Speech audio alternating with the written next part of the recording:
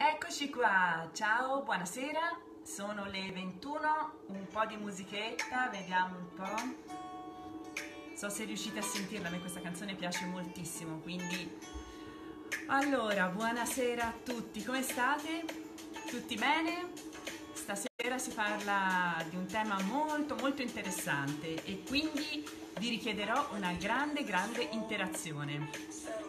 Vediamo un pochino chi compare con qualche like e con qualche pollicione, così almeno vedo che ci siete. Siamo di nuovo lunedì sera, questa è la quinta puntata, quindi dai, stiamo andando avanti e questa cosa mi sta prendendo molto, mi sta prendendo veramente molto. È molto interessante secondo me anche perché mi consente appunto di darvi tante informazioni e di ricevere anche molti feedback, quindi questa cosa mi piace moltissimo.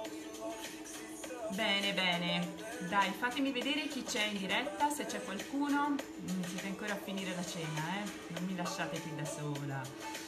Fatemi un po' vedere chi c'è. Bene, bene, dai, stasera si parla di sedazione cosciente e si parla di controllo della paura e dell'ansia. Sì, un tema molto molto importante, molto dibattuto. Ciao Elisabetta. Bene, ditemi se si sente bene. Ditemi se si sente bene. Leviamo la musica tra poco e aspettiamo ancora che arrivi qualcun altro. Benissimo, ciao ragazzi. Bene, allora, se mi riesce di spegnere la musica, dai, ce l'ho fatta. Allora ragazzi, come state? Sempre week, tutte week. Ciao Cristiana, ti sei ripresa? Tutto bene? Sì, sei qui? Vai, tutto bene? Alla grande? Sei stata bravissima oggi. Bene, si sente benissimo. Perfetto, perfetto. Ciao ragazze. Bene, bene. Allora, già un po' di donne, quindi questo già mi dà coraggio. È stata una lunga, lunghissima giornata e devo ancora, sì, pranzare, devo ancora pranzare, ma dai, va bene. Benissimo, quindi il tema che ho lanciato per stasera riguarda il controllo della paura. Bene Cristiana, fantastico, bravissima. Quindi controllo della paura e controllo dell'ansia. Sì, perché quando si sente, quando dico eh, anche alle cene, no? che mi fa piacere, mi fa ridere questa cosa quando dico alle cene, eh, ma tu che lavoro fai? Eh, io faccio la dentista. Ah, la dentista, oh, io è tantissimo tempo che non ci vado, io ho una paura terribile. E questa cosa da sempre mi dispiace molto perché c'è quest'aura sempre di terrore attorno alla figura del dentista che è una cosa che comunque veramente dispiace, per tutte le età dispiace, dai bambini piccoli agli adulti. E quindi il mio obiettivo nella vita, come vi ho già detto altre volte, è proprio di, quello di sfatare questo mito. Sfatare il mito del dentista cattivo, del dentista dal quale bisogna spendere tanto, bisogna soffrire necessariamente, bisogna rimandarlo il più possibile. Sì, mi ripeto perché ve l'ho già detto anche in altre puntate, però vi assicuro che è veramente un tema per me importantissimo. E quando in realtà i pazienti si rendono conto che non è necessario avere paura del dentista. Cristiana, tu che ne pensi? Bisogna avere paura del dentista? Te che sei stata coraggiosissima? Eh, bisogna venire con tranquillità. Ciao Elisa! Fantastico anche Elisa. Tu, per ora siete tutte week, eh? Week di, di, vari, di vari posti, ma tutte week. Ecco Chiara Biondi che sarà la prossima week, nonché mia assistente fantastica eh, che mi segue in tutte le nostre peripezie. Mandatemi un pochino di like, un po' di cuoricini. Quindi si diceva, l'obiettivo di vita è Chiara, lo può confermare Chiara Biondi che è la mia mitica assistente eh, e che ormai ragiona assolutamente come me, quindi siamo sempre protese nel cercare di far star bene il paziente il più possibile. Quindi ragazzi, ripetete con me, dal dentista non è necessario avere paura, no, non si deve avere paura, assolutamente. E come si fa per non avere paura? Soprattutto perché, eh, come sappiamo, la paura essenzialmente deriva da, uh, da, percorsi precedenti. Ciao Chiara! Deriva da eh, paure che si sono accumulate nel tempo, da racconti micidiali, quindi io quando ero piccolo mi hanno strappato i denti, c'è sempre eh, nei pazienti, ma non tanto odontofobici, ma nei pazienti, ciao Giuseppe, nei pazienti che hanno comunque paura, che hanno una storia di fobia, di paura, sempre di rimandare queste sedute dal dentista, eh, in realtà nella loro storia c'è sempre appunto qualche evento che li ha eh, spaventati. Buonasera a tutti spagnoli no, però pazienti non. bene, ma anche gli spagnoli ci piacciono, dai, va bene. E, ehm, allora, appunto dicevo, Chiara eh, mi segue in questo percorso professionale e, e, lei appunto mi aiuta moltissimo in questo e eh, come vi dicevo la paura deriva essenzialmente da qualcosa spesso che ci è successo quando eravamo piccoli o da racconti che eh, ciao da Riccardo Riccardo ciao un altro dei ragazzi fantastici. Mm, questo è per Riccardo perché è bravissimo è diventato super mega bravo. Lui aveva un pochino di paura però adesso è bravissimo vero Riccardo? Adesso non hai più paura. Mandami un po' un messaggio anche un cuoricino un like e soprattutto scrivimi se hai ancora paura oppure se adesso vieni volentieri da noi e, ehm, e quindi vi dicevo, questa paura ancestrale che ci portiamo dietro anche dai racconti. Allora, il nostro, veramente il mio obiettivo è quello di far sì che i pazienti vengano, come vi dicevo, volentieri. E come si può fare questo? Allora, uno, sfatare dei miti. Per sfatare i miti bisogna intanto andare dal dentista mh, mm, possibilmente quando non c'è un problema, quando non c'è il dolore oppure quando non si è aspettato troppo. Spesso noi tendiamo ad aspettare, ad aspettare eh, fin tanto che proprio non se ne può più e chiaramente in quel momento quando andiamo da questo fatidico dentista, ecco, diventa sempre Bravo Riccardo, vengo volentieri da te, bravissimo, da me e da Chiara, bravissimo Riccardo, fantastico. Ecco, questa è una dimostrazione di un bambino che aveva un pochino di paura e che invece adesso viene molto volentieri. E come abbiamo fatto? Magia? No, non c'è la magia, c'è l'impegno, eh, l'impegno da parte nostra, nel, quindi dell'operatore, dell'assistente, di tutto lo staff, nel coccolare, ma soprattutto ascoltare e capire dove è stato il momento che ha bloccato il paziente, cosa è successo che ha provocato questo trauma che può essere più o meno grande, ma talvolta devo ammettere che ci sono dei pazienti che pensano di avere paura, ma che magari non hanno veramente avuto un trauma vero e proprio. Quindi cercate di andare sereni dal dentista e come vi dicevo il trucco numero uno è quello di andare quando non ci sono problematiche esagerate. Quindi alla prima avvisaglia di un fastidio andare subito dal dentista, non aspettare che si abbia un dolore micidiale, ma ancora meglio andare con regolarità quando non avvertite nessun tipo di problema. Perché? Perché in questo modo il dentista è in grado di mettere in evidenza quelle che possono essere le piccole problematiche Ragazzi ci siete? Mandatemi un pochino di, di, pollicioni e di like così almeno mi rendo conto e anzi mi piacerebbe anche che mi mandaste un pochino di domande così perlomeno mi aiutate a, ehm, a guidarvi in questo percorso. Quindi dicevo, intanto appunto andare dal dentista quando non ci sono problematiche particolarmente grandi e, e poi soprattutto noi ci impegniamo molto. Ciao Eva! Eva è un'altra collega, una collega bravissima che anche lei si occupa di sedazione cosciente e quindi organizzeremo qualcosa anche insieme, qualche diretta insieme. Quindi vi dicevo, eh, come si fa per controllare la paura e l'ansia? Beh, allora, abbiamo detto intanto la prima cosa da parte nostra, da parte dell'operatore, dello staff, è quello di ascoltare. Ascoltare cosa è successo prima e che cosa ha provocato un eventuale blocco. Quindi questo perché? Per evitare di magari riproporre lo stesso meccanismo e la stessa sequenza di eventi che hanno portato a questo ricordo negativo. Quindi questo intanto dobbiamo saperlo, dobbiamo cercare Ciao Eva, grazie mille di essere qui, mi fa molto piacere, anzi se intervieni e mi aiuti mi, fa, mi supporti.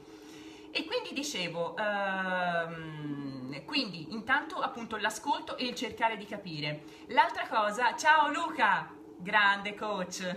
E, ehm, dicevo quindi l'ascolto che è fondamentale proprio per evitare di riproporre la stessa sequenza. E l'altra cosa che si può fare e che noi eh, utilizziamo moltissimo nello studio, io uso da dieci anni la sedazione cosciente, la tecnica della sedazione cosciente. Eh, si dicono un sacco di miti e leggende su questa tecnica. Uh, bisogna dire che intanto siamo in pochi ad Ciao Nicco e Lorenzo, ciao ragazzi, altri due pazientini bravissimi e fantastici che mi tocca anche truccare sempre da, da, pirati con i baffi. Mi raccomando ragazzi, la prossima volta ancora sedazione top. E quindi vi spiego appunto, vedete che abbiamo veramente una standing ovation per una sedazione cosciente. Beh, dicevo, è una tecnica nella quale io credo tantissimo e eh, vi spiego appunto perché siamo comunque in pochi ad utilizzarla. Eh, si parla di circa il 5% ad oggi, il 5% dei dentisti italiani utilizzano, grazie, utilizzano la sedazione cosciente. Perché?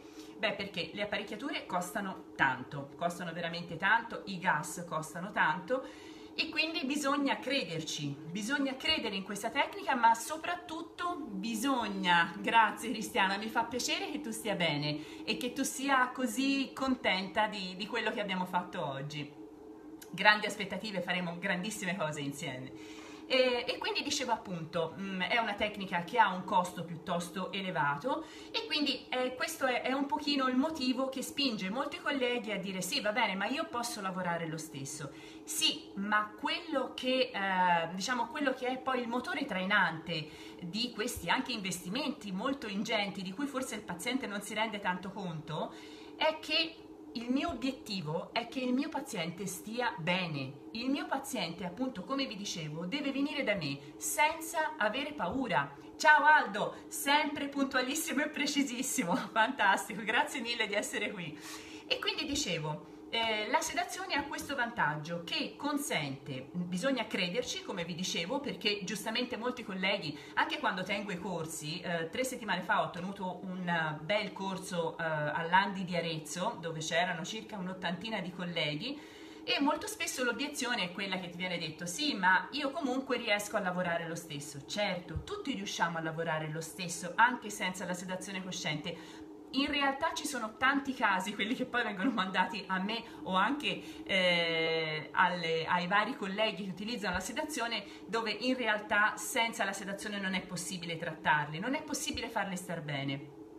Quindi si potrebbe lavorare lo stesso, ma se possiamo offrire un servizio diverso e possiamo effettivamente eliminare l'ansia, eliminare la paura del dentista e far stare bene il paziente, ma perché no? È un investimento che va fatto. Non è poi ehm, così importante per me, devo dire, avere sì, è vero, devo investire anche sugli impianti, sul resto, ma la prima cosa per me è che il paziente stia bene e che viva serenamente le sedute, per il paziente ma anche per me perché un paziente stressato eh, che ha la tachicardia, che ha eh, difficoltà a respirare, eh, che ha questo stato di ansia, che si muove, si agita, ma perché? Fa male a lui, ma fa male anche a me e anche alla mia assistente Chiara.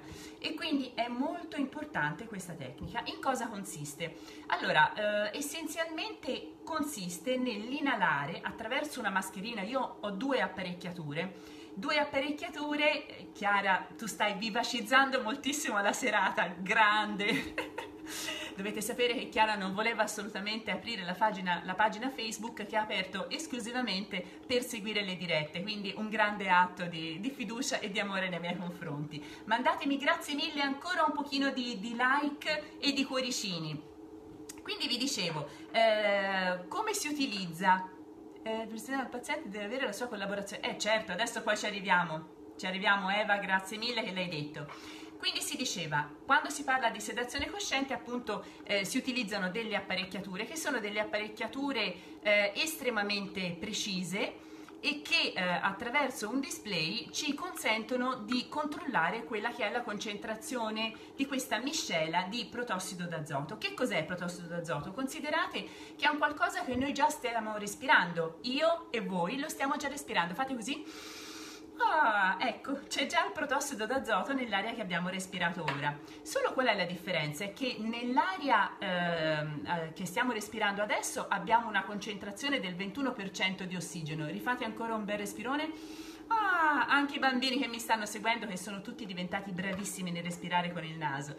E, mentre quando utilizziamo la sedazione cosciente, l'apparecchiatura digitale, abbiamo una concentrazione di ossigeno molto molto superiore al 60, al 70%, 75%. Quindi questo che cosa vuol dire? Che il paziente comunque è iperossigenato. Quindi anche per tutti i pazienti cardiopatici, per tutti i pazienti eh, appunto ansiosi ovviamente, odontofobici, eh, è proprio una tecnica salvavita perché evita di avere quello stato di ansia e quella produzione di adrenalina che potrebbe a lungo andare durante la seduta eh, provocare eh, eh, provocare appunto Elisa, tu sei la mia gabbia preferita, lo sai, e, e diceva appunto provocare una, per esempio delle tachicardie, eh, quindi è molto molto importante la serenità e la tranquillità. Mi diceva appunto che queste apparecchiature sono digitali, quindi sono estremamente precise, io ne ho due in particolare, e eh, il, al paziente viene chiesto di usare questa mascherina che viene applicata sul naso. Così, guardate che carina che sono. Ci sono vari colori, vari profumi e attraverso questa mascherina si inala questa miscela che io controllo attraverso la mia apparecchiatura. Quindi potrò erogare più o meno protossido e eh, farlo ehm, aumentare in modo molto molto graduale. Il mio obiettivo qual è? È quello di portare il paziente anche attraverso l'ipnosi, attraverso il, il modo di parlare, attraverso per esempio il fatto di portare mentalmente, guidare il paziente mentalmente in un posto che sia lontano. Perché questo? Perché chiaramente se io sono eh, seduta sulla poltrona del dentista e sono concentrata a, eh, a, immaginare che adesso sto per sentire male, sto per sentire male, sto per sentire male, sono in super tensione. Ciao Elisabetta, buonasera e ben arrivata. E sono appunto sulla, sulla, poltrona del dentista super in tensione, ho il video bloccato, accidenti, ehm, non so aiutarti, però vedrai che poi eh, si sbloccherà. Gli altri vedono, vedono bloccato vedono tutti bene?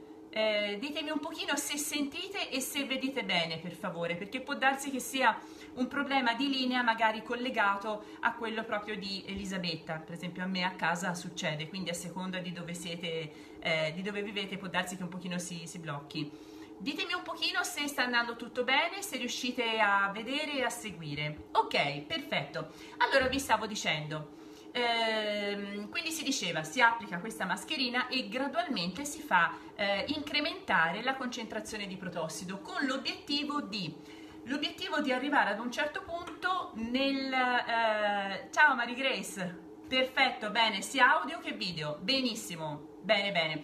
Allora vi dicevo, eh, l'obiettivo finale qual è? È quello di arrivare ad avere il paziente che comincia a rilassarsi e c'è proprio un punto che è soggettivo, quindi eh, quello che viene definito come baseline, ossia il, la concentrazione di protossido che è ottimale per quel paziente e che è diverso, ovviamente io ho una, un certo baseline che è diverso da quello di Chiara, piuttosto di Chiara Lepre, piuttosto che di Mary Grace, di Elisabetta, delle altre ragazze o di Elisa. Quindi ognuno ha un baseline che è personalizzato e questo come si fa a trovarlo? Si fa appunto eh, guidando il paziente attraverso quella che viene definita come iatrosedazione, cioè o ipnosi, eh, in modo tale da portare il paziente lentamente attraverso una musica di sottofondo, attraverso il ricordo di profumi, di rumori, portando la mente del paziente in un posto che sia lontano. Per esempio Elisa, dimmi se è giusto, vuole sempre andare al mare, a fare una passeggiata al mare a volte anche senza figli, da sola, in modo tale da stare serena, rilassata e riprendersi un attimo. Invece i suoi bambini amano molto le favole di avventure, quindi eh, per i bambini si fa un qualcosa di diverso e si portano in un mondo, di solito io perlomeno amo molto portarli in un mondo fantastico e raccontare delle favole nelle quali loro sono i personaggi e quindi costruiamo insieme, mentre facciamo magari delle otturazioni, delle devitalizzazioni, a volte delle terapie, che possono spaventare molto anche i pazienti adulti, ecco che in questo modo magicamente la mente va da un'altra parte eh, si ha una sensazione molto distante di quello che sta accadendo. Quindi io di solito faccio sempre un paragone e dico, beh, se io adesso ti do un pizzicotto, tu lo senti 10, se te lo do con la sedazione cosciente, quando abbiamo trovato la concentrazione ottimale, ecco che magari tu lo senti 2, lo senti 1, non te ne importa niente perché sei nel tuo mondo e stai proprio bene nonostante tu sia perfettamente cosciente, quindi mi puoi dire ho l'acqua in bocca, eh, mi dà fastidio questo, eh, mi cambi il canale piuttosto che altro. Quindi il paziente è sempre cosciente, è sempre consapevole, ha sempre mh, i riflessi della deglutizione attivi, quindi può tossire, può parlare e quindi è una cosa veramente molto positiva, è una tecnica molto molto positiva e che ripeto io utilizzo tantissimo oggi per esempio abbiamo avuto una ragazza che è mia paziente da molto tempo e che eh, non aveva mai voluto eh, avuto esigenze particolari non è una paziente che ha particolare timore eh, viene a fare ha fatto tante, tante terapie ma adesso viene semplicemente a fare il mantenimento con l'igiene. Ecco io oggi le ho detto dico guarda scusa ma perché non proviamo la sedazione cosciente che altre volte non, non avevi voglia di provare Ecco, devo dire che oggi abbiamo fatto l'igiene con la sedazione cosciente su un paziente che non ha nessun tipo di problema, nessun tipo di ansia e lei si è alzata e mi ha detto io sono stata... sì, ora tu Chiara sei particolare, se tu vai a fare shopping, brutta scusa questa, fai... mi sa che tu fai shopping anche senza la sedazione. Allora dicevo, eh, e quindi appunto lei si è alzata e ha detto ma io sono stata benissimo, perché? Perché comunque hai questa leggerezza, hai la mente che è da un'altra parte, non percepisci fastidio e quindi è una figata. Eh, scusatemi, io non voglio sentire male e quindi io stessa quando faccio l'igiene con una collega, ce la facciamo a vicenda, io mi faccio sedare perché devo sentire male o devo stare in tensione, non ci penso nemmeno. Bene, L'altro punto importante, però mi piacerebbe mi mandaste anche delle, ehm, delle domande se vi vengono, ehm, l'altro punto importante è quello che spesso si parla della sedazione cosciente come un qualcosa di pericoloso. No, non è pericoloso. Allora, intanto vi ho già dato un indizio che è quello che riguarda il fatto che il protossido d'azoto noi lo respiriamo già, quindi non ci possono essere allergie, eh, non ci possono essere problemi a meno che per esempio non si abbiano eh, otiti o non si abbiano eh, soprattutto otiti perforanti, non, si abbiano, non, non siano state presenti delle otiti perforanti perché allora in quel caso può essere magari un problema in quanto il protossido tende a creare una minima pressione all'interno di cavità e quindi ecco che in questo caso può essere un pochino più fastidioso. Eh, l'altro problema appunto, grazie dei cuoricini e di like, ancora un po', dai, chi è, chi mi sta seguendo, mi mandi un pochino di like. E ehm, anche per il film che stiamo guardando, eh, Il libro della giungla, che è fantastico. Vero Chiara? Noi ormai sappiamo tutti i film di Walt Disney a memoria, anche di più.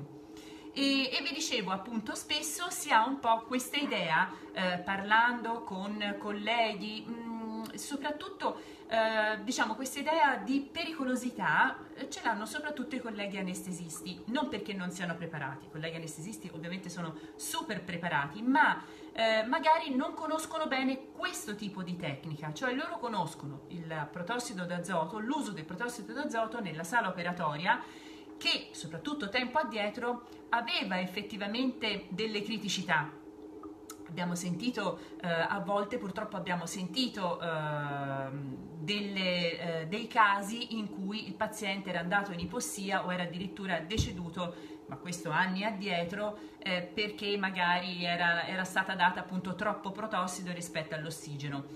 In realtà eh, con queste macchine questo non è possibile che avvenga perché sono macchine digitali che hanno un blocco ed è un blocco che consente sempre di essere iperossigenati perché hanno un blocco in cui eh, ci può essere un massimo di erogazione del 70% di protossido e quindi noi abbiamo sempre un 30% di ossigeno che se vi ricordate quanta era la concentrazione di ossigeno nell'aria?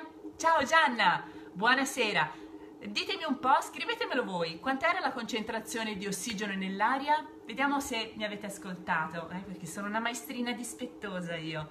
Vediamo un po'. Dai, dopo ve lo dico io, vi dico se è giusto o no. Comincia per 2, comincia per 2 e finisce per 1, quindi 21% di concentrazione di ossigeno nell'aria e quindi mm, ecco che in questo caso vi rendete conto che con queste apparecchiature siamo sempre iperossigenati, quindi il paziente è sempre in massima sicurezza. Quindi il problema della pericolosità del protossido d'azoto non esiste con questo tipo di tecnica. Eh, la tecnica appunto della sedazione cosciente, meglio definita come analgesia relativa secondo Langa. Così dai, fate un figurone alle cene. Oh, il mio dentista usa la, uh, l'analgesia relativa secondo Langa, dai, ve lo consiglio, fate veramente un figurone eh, e che è appunto questa tecnica che si differenzia dalle altre proprio perché consente di guidare il paziente fin tanto che non abbiamo raggiunto quello che abbiamo definito come baseline, quindi questo eh, livello, questa concentrazione ottimale di, paziente, di mh, protossido d'azoto che è soggettiva, quindi va bene per me ma non va bene per un altro paziente, quindi noi poi ci segniamo in cartella qual è stata la concentrazione raggiunta ed ecco che dalla volta successiva possiamo ripartire direttamente da questa. L'altra obiezione che mi viene spesso fatta dai colleghi quando tengo i corsi è quella del sì, ma ci vuole del tempo però per trovare il baseline. No, in realtà no, ci vogliono veramente 3-4 minuti, soprattutto se siamo un po' allenati e se siamo abituati a interpretare le reazioni dei pazienti. E quindi eh, ormai devo dire che con Chiara siamo ultra veloci però ripeto è, una, uh, è, un servizio che si riesce a dare talmente importante che per me è veramente irrinunciabile. Quindi quando io eh, ho aperto questo piccolo studio che ho uh, in quel di Troghi eh, la prima cosa che ho fatto, il primo acquisto che ho fatto pur sommergendomi di debiti, eh, che ancora sto finendo di pagare, ma è stato prendere l'apparecchiatura per la sedazione cosciente, perché per me è proprio imprescindibile. Prima il paziente deve stare bene, deve collaborare, deve venire serenamente. Io non voglio vedere gente che sviene, che sta con gli occhi sbarrati, che suda. No, qui bisogna stare bene, quindi la televisione, eh, il profumo spruzzato nell'aria in modo tale che il paziente non abbia la sensazione, non, abbia, non avverta gli odori del dentista, anche se adesso eh, non si usano più quelle quelle creme, quelle sostanze micidiali che si usavano un tempo e che proprio davano l'imprinting del dentista. E quindi grazie, grazie mille di tutti questi cuoricini.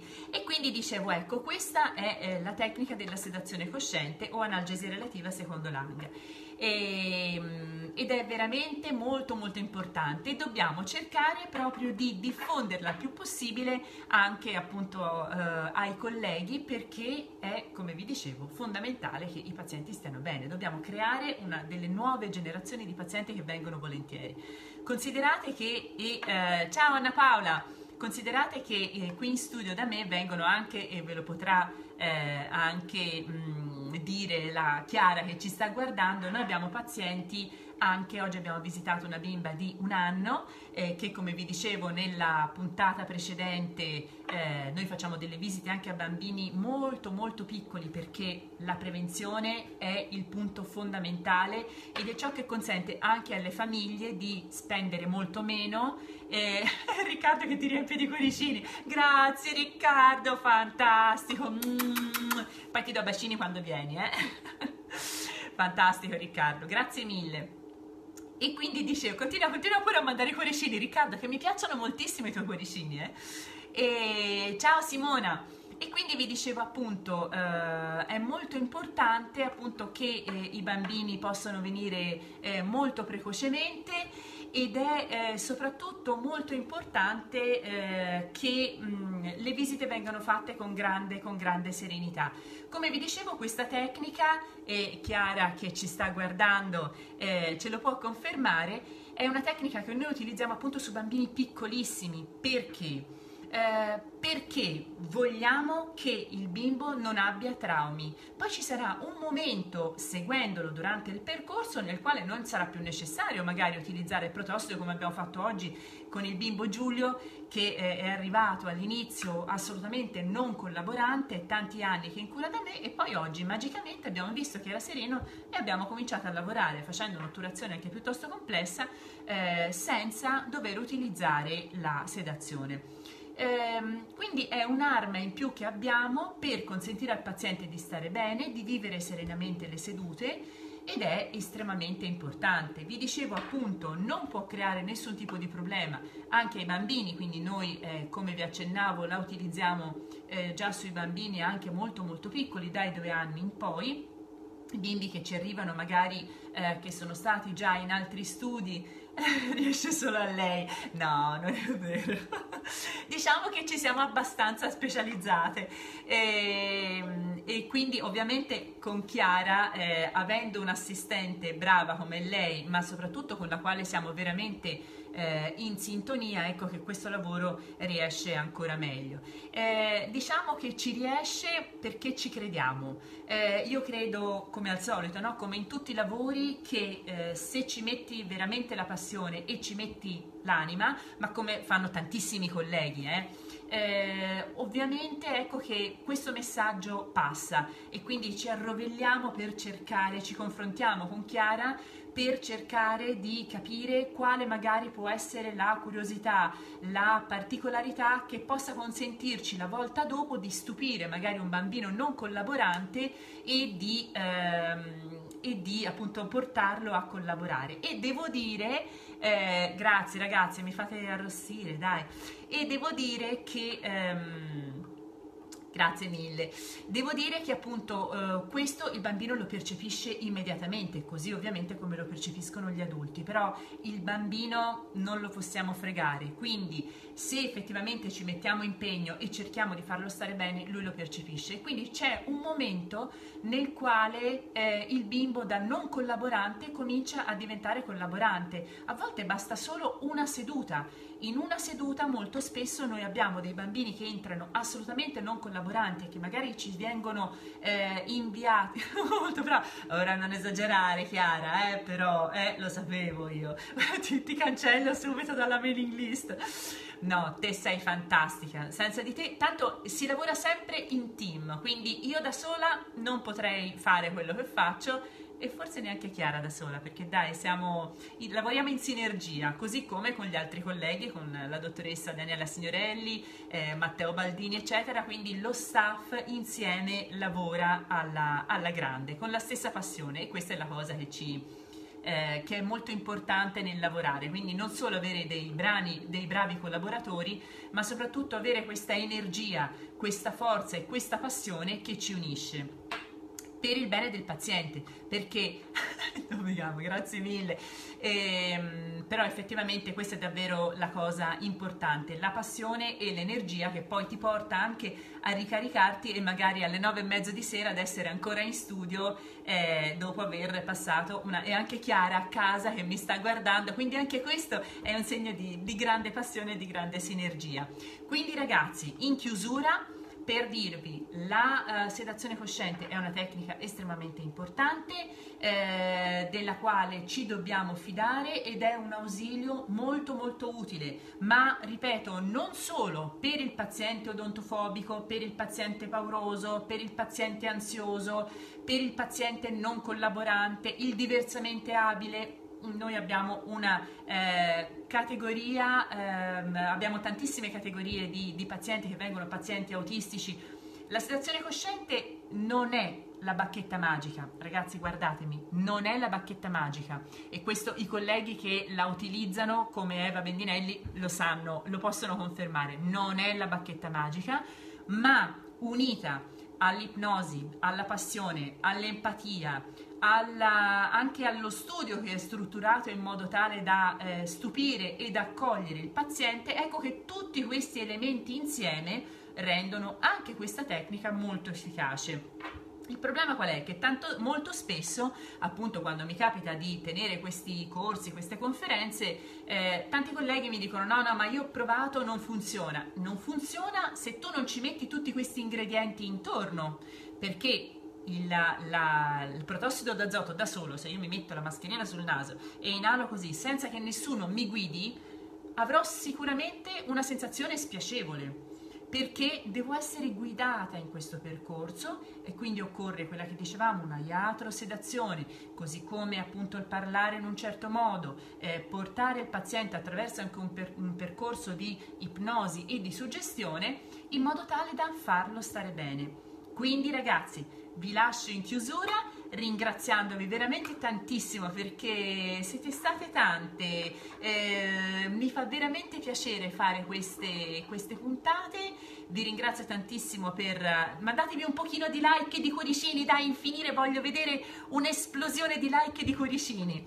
E, e quindi io credo veramente che queste, queste puntate che io faccio con, uh, con grande ardore eh, possano effettivamente servire per uh, togliere delle paure non mi interessa accaparrarmi i pazienti, non lo faccio per questo. Poi ovviamente se volete venire da me sarà un'esperienza in più e mi fa piacere, ma servono, hanno come obiettivo di, uh, quello di dare delle informazioni, di sfatare dei miti, quindi mi raccomando, anche per le prossime volte, mandatemi un pochino di messaggi, di domande, come abbiamo fatto nelle volte precedenti, perché questo mi può servire appunto per sfatare un po' di miti e quindi per poter essere ancora più esauriente. Eh, quindi ragazzi io vi saluto, vi ringrazio tantissimo per essere stati con me avermi fatto compagnia, spero che questa puntata possa eh, avervi aiutato o aver chiarito alcuni concetti, possa aver eh, diciamo eliminato alcune paure, alcuni timori, quindi ragazzi mi raccomando in chiusura